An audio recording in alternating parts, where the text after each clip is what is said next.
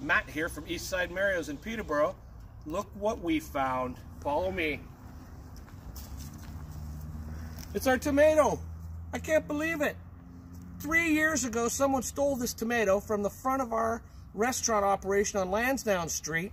There's a reward out for it. Free dinner for you and your family. And look at where we found it, right in the middle of Nicholls Oval, just sitting here doing nothing. I can't believe it.